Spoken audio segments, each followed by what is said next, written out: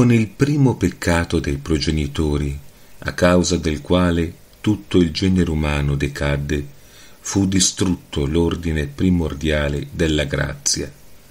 Dio non volle lasciare che il mondo infelice sprofondasse nell'abisso della miseria terrena e nella morte eterna, ma nel suo immenso amore e bontà volle liberare l'umanità prigioniera, rialzarla e arricchirla dei beni della grazia e della gloria.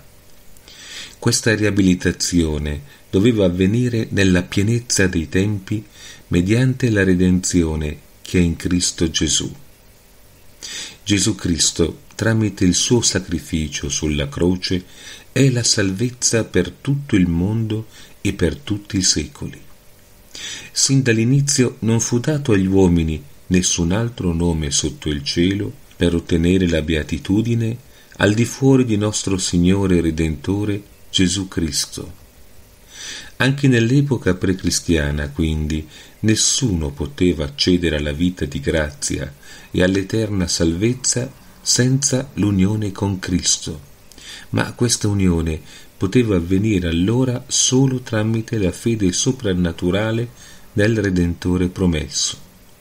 Per rendere possibile la fede necessaria alla salvezza per tutta l'umanità, come anche la speranza e la carità, il cui fondamento è la fede, Dio ha donato in tutti i tempi il suo ausilio e la sua grazia. Il mistero della redenzione non fu mai, anche nell'Antico Testamento, senza effetto, scrive San Leone Magno. Dio non ha provveduto alle vicende umane con un nuovo decreto e nemmeno con una misericordia prevista nel futuro, ma sin dalla fondazione del mondo egli ha aperto e indicato per tutti un'unica sorgente della salvezza. Infatti la grazia di Dio tramite cui tutti i santi furono sempre giustificati, alla nascita di Cristo fu solamente aumentata e non conferita per la prima volta.